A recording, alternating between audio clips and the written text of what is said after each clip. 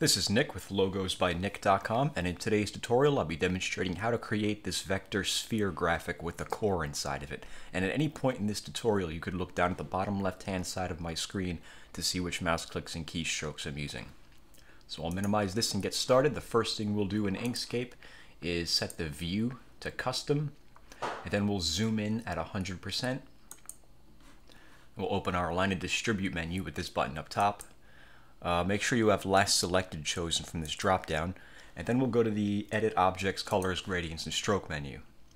So the first thing we're going to do is create a, circle. So let's come over to the circles and ellipses tool and hold control and shift in the keyboard and click and drag on the canvas to create a perfectly round circle. And we'll go back to our select tool.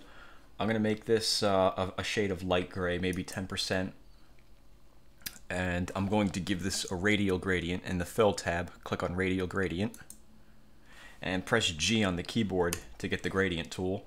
And I'm going to double click this line right here to create a new stop. And then I'll click on that stop and I'll take under the HSL tab I'll take the L column and slide this over to the left.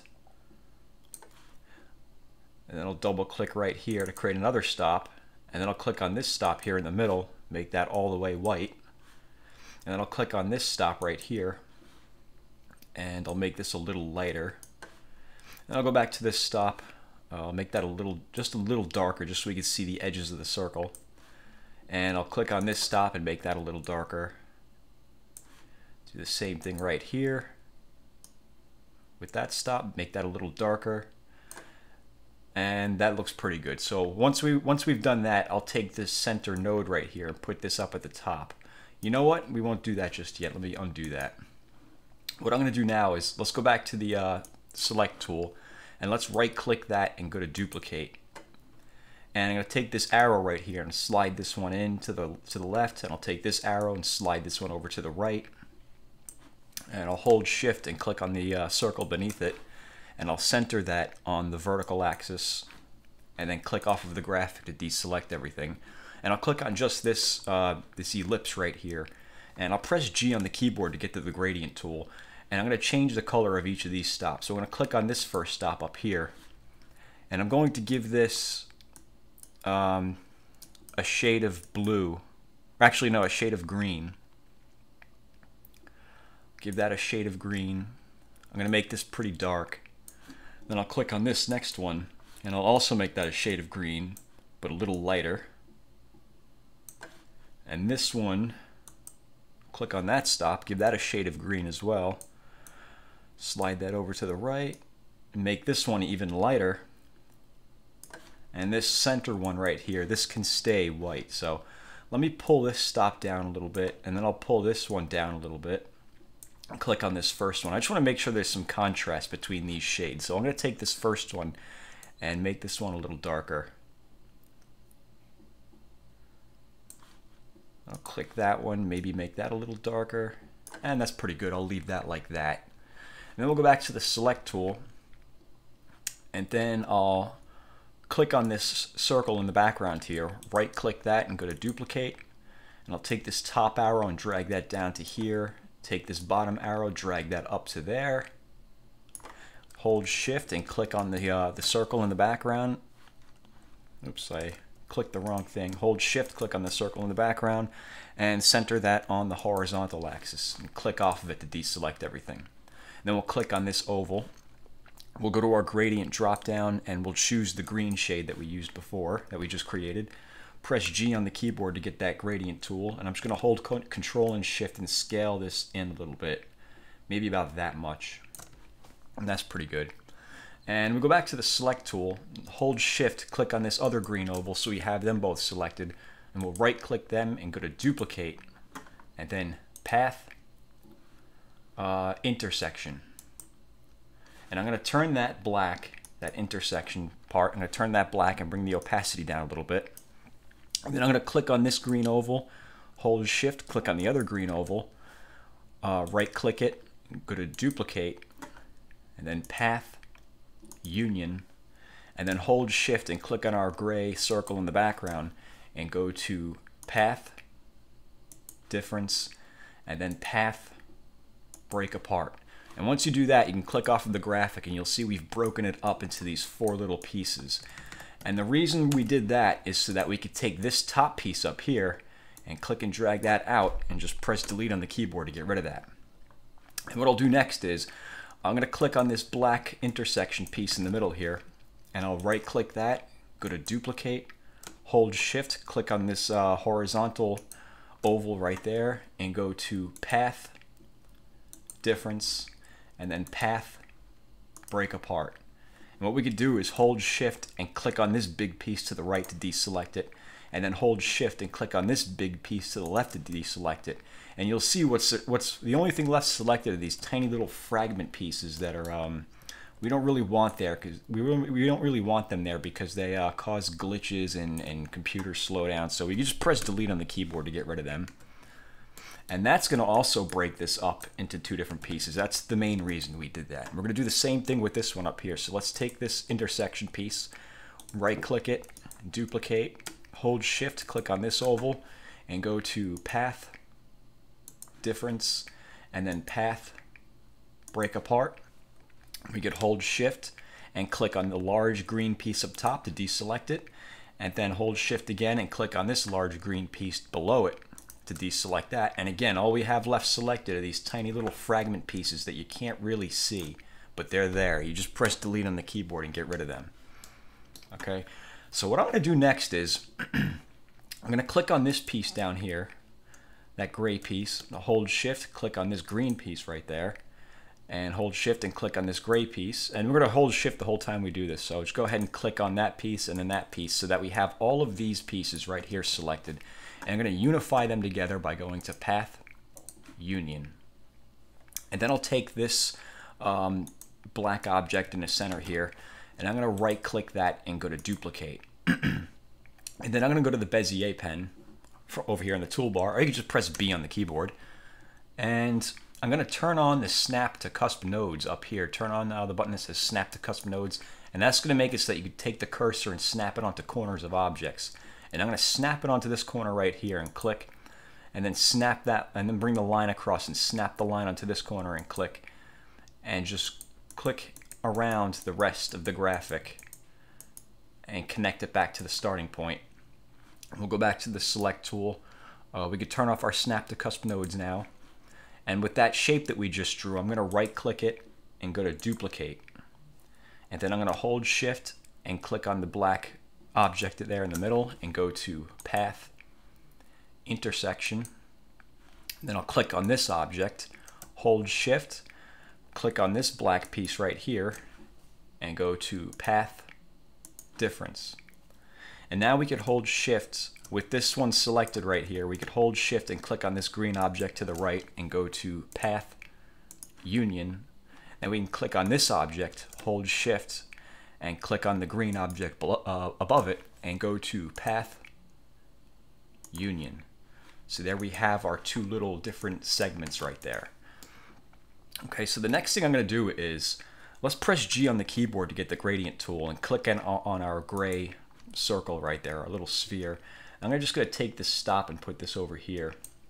I'm going to hold control and shift and click and drag this out to make this a little bigger. I'll put this out a little more. I want the white part, the very white part coming along the bottom left edge right there. Like that. Maybe like that. I'll bring this up. Oops. I'll bring this up a little bit. Maybe make that one a little lighter. So it ends up looking somewhat like that. That's pretty good right there. Then we go back to the select tool. and let's click on that green shape and then hold shift and click on the green shape beneath it. And we'll right click that and go to duplicate and we'll unify them together by going to path, union. And we're going to turn this a light shade of gray, maybe um, 10%. If you hover your cursor over the shade, it'll tell you 10%. And I'm going to give that a stroke of the same color. So we're going to hold shift and press the 10% again. And it's going to create a little outline going around it. And I'm going to go up, come up here to lower selection one step. I'm going to click that once and then a second time to put that beneath the green objects.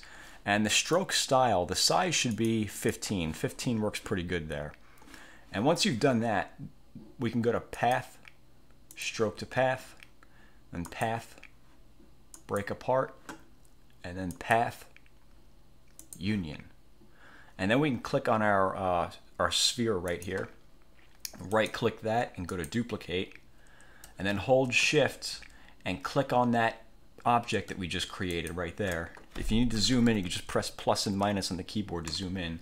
And with them both selected, we'll go to path, intersection. Let me press one and zoom back out to show you what we have now. So that's how that looks so far. The next step is to, um, let's click on this green object right here and we'll right click that and go to duplicate. And we're going to turn this red just for now. We're going to bring the opacity down about in half.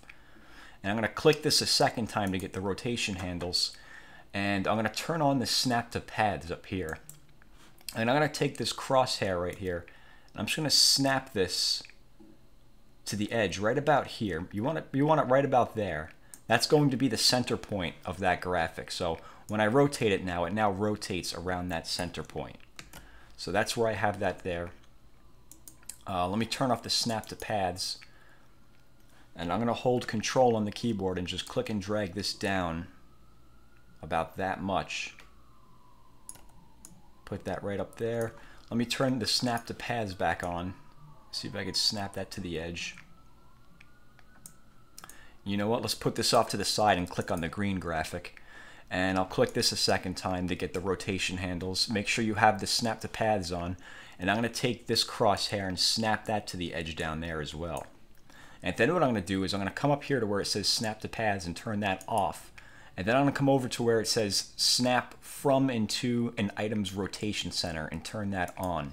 And then we could take that red graphic and we could snap the two center points together like that. And I'm going to do the same thing with this uh, with this side down here. We'll click on that green one, right click that, go to duplicate. We'll turn that red, bring the opacity down about in half, click it a second time to get the rotation handles.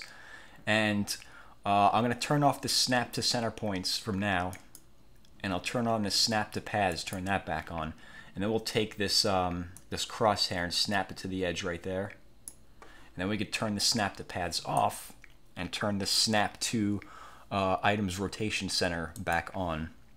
And I'll click on this again to get back to our scaling handles. And I'm going to hold control and shift and click and drag to scale this down until it's about the size of the object beneath it, um, above it right here. Let me zoom in to show you. You can just press one on the keyboard to zoom in. Let me turn off the, um, the snap to center point and turn on snap to cusp nodes. And we could take this corner and snap it right there and you can see with this corner right here it's still a little too big so I'm going to hold control and scale this down a little bit and then snap it back over there and see how that looks. All right, that's pretty good. That's close enough. So I'm going to press 1 on the keyboard to zoom back out. We could turn off the snap to cusp nodes, and we could hold shift and click on this um, other object. We want those both of those red objects selected, and then we can go to uh, go to Path Union. And then we're going to create a circle. So let's come over to the Circles and Ellipses tool. Hold Control and Shift and click and drag to create a perfectly round circle. And I'm going to turn this one blue, and I'm going to get rid of that stroke or that outline by holding shift and clicking on the X. And then I'll go back to the select tool, and I'll hold shift and click on this object right here, and center it on the vertical axis, and then align the top edges, and then click off of the graphic to deselect everything. So what I'm going to do now is I'm going to click on this blue circle, and I'm going to hold control and scale this up a little bit, scale it down actually. And let me zoom in and I want to make sure that the top of this blue circle matches up with the top of that red oval right there. So I'm just going to hold control and click and drag this over to the right because I know it's already aligned. I just need it put on top of it like that. And then we want to make sure that the right edge of this blue circle is coming out to the right edge of that red shape right there. So to do that, I'm going to hold control and grab this bottom arrow and just scale this up until it gets to about that edge like that. And then I'm going to hold Alt and click on the blue graphic right where the red shape is to select the, um, the red shape beneath it and go to Edit, Duplicate. And then I'll hold Shift on the keyboard and click on the blue circle. and go to path difference and then path break apart. And then I'll hold shift and click on this blue this blue part right up here in the top right corner to deselect that and press delete on the keyboard to get rid of it. So we're just left with this these two objects right here. And then we, once we have that, we can click on this, hold shift, click on the red one so we have both of them selected and go to path union. Then we could press 1 on the keyboard to zoom back out. Uh, what I'll do now is I'll take the opacity of that and bring that up all the way. And we'll give this a radial gradient. Let's come over to the fill tab. We'll give that a radial gradient. Actually, first, before we do that, I'm going to make that, um, what color did I use in the thumbnail? Blue. So I'm going to use a shade of blue. Um,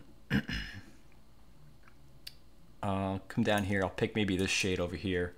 And then I'll give that a radial gradient. I'll press G on the keyboard to get the gradient tool. And I'm going to click on the stop out here. Bring the opacity all the way up. And let me zoom in on this so I can see what I'm doing. Now what I want to do now is I want to double click on this line right here to put a new stop there. And I'm going to click on this one and I'm going to make the L column over to the right, make that lighter.